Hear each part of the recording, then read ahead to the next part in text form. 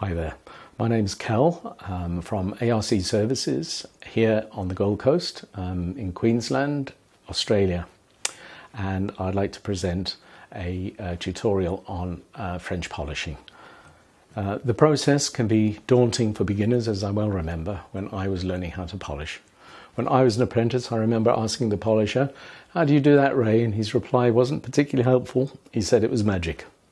The world moves on, and I want to share skills that I have mastered over the years.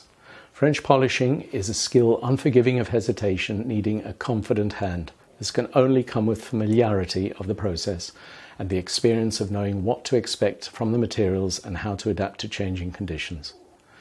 This tutorial is designed to fast track the learning process so that even an absolute beginner can become a competent polisher with just a little practice.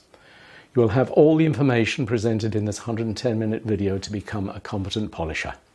The video is intended for both those who would like to understand what the process is and those who would like to use this skill to enhance their own furniture or musical instrument projects.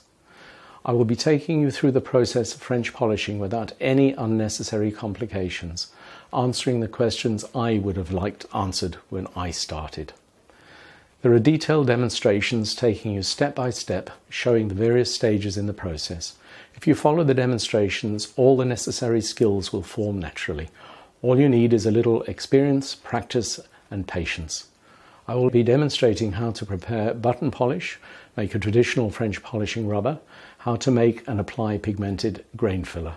I will show you examples of things that can go wrong and how to recognize and avoid those situations, as well as knowing what to expect and how to adapt to changing conditions.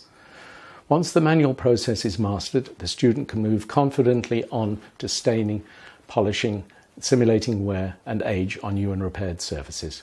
This is a very important skill for restoration, conservation and replica furniture.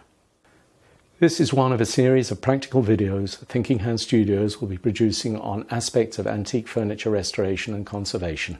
Please feel free to look at our free instructional videos. The links are provided below. Please let us have your feedback. Feel free to be in touch with any questions or queries.